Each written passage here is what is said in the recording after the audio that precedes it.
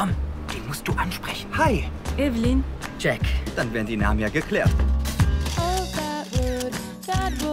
Das Jahr Auszeit nimmst du dir aber schon. Ja, natürlich. Ich hoffe fast, sie wird nie wieder aufhören. Geh du erst mal zu dieser Alten in den Pub. Alles klar, Frauenflüsterer. Oh, hi. Eigentlich wollte ich in einen Club gehen. Mitkommen? Wir haben gerade über deinen Freund geredet. Er ist doch sehr charmant, oder? Was gefällt dir? Was ist dein Ding? Ich mache ganz gern Fotos und so. Lass dir von den Chicks den Spaß nicht verderben. Und dir, was gefällt dir so? Chicks.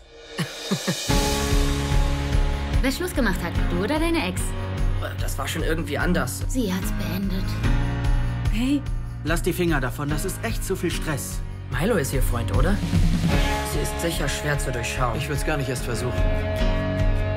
Du spielst gern dein kleines Spielchen. ach, wir spielen also ein Spiel.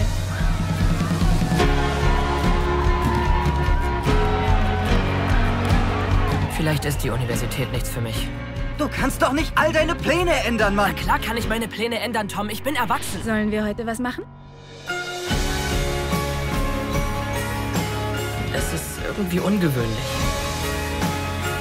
Was ist denn so ungewöhnlich? Wir haben ja nur sieben Minuten. Na, dann fängst du besser an. Okay.